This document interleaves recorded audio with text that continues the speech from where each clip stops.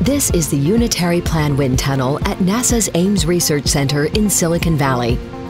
It's been one of the world's premier production wind tunnels for over 60 years, with both transonic and supersonic test sections that duplicate realistic flight conditions. The facility has a long legacy of testing almost every commercial and military aircraft made in the United States, as well as every space vehicle from Mercury to the new Space Launch System. But over time, computer technology and digital imagery have evolved, dramatically increasing the effectiveness of optical techniques that can be used in a production wind tunnel. Driven by the need to accommodate these more complex techniques, the Unitary Plan Wind Tunnel will soon be completing its latest round of upgrades. In the transonic test section, all of the existing windows have been replaced with low distortion fused silica glass for maximum optical clarity. Larger inner and outer windows will provide a more complete view of the wind tunnel model for Schlieren fluid flow imagery. Additional small round porthole windows have been added in the walls, floor, and ceiling of the test section. These provide added views of the nose and tail of the model that are critical for conducting techniques such as photogrammetry for angle of attack and model deformation measurements, and pressure-sensitive paint for surface pressure analysis.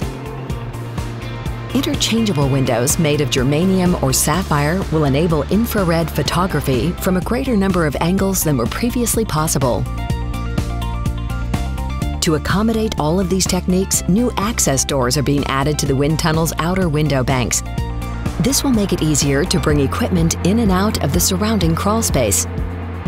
Plus, additional hookups are being installed throughout the wind tunnel to handle the increased power, data collection, and cooling demands of the test equipment.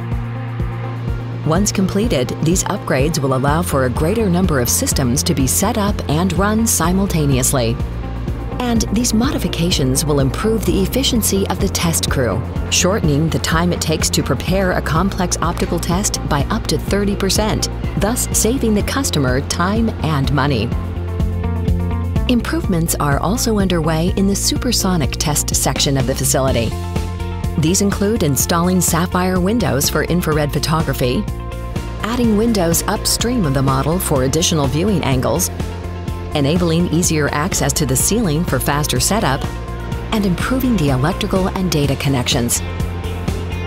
Whether you're working on modifying older aircraft, developing green aviation, conducting quiet supersonic studies, or refining the new Space Launch System, the Unitary Plan Wind Tunnel will continue to be your go-to production level facility for collecting the most integrated, high-quality aerodynamic data under the widest range of conditions, which will help you get your projects out of the lab and into the sky.